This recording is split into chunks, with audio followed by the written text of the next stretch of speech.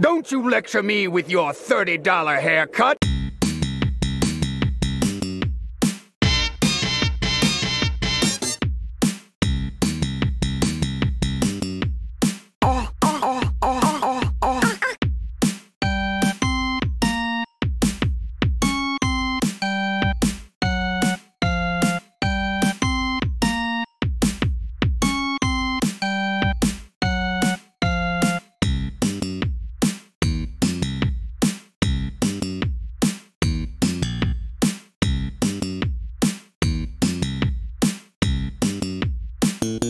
What? This cat? Ah!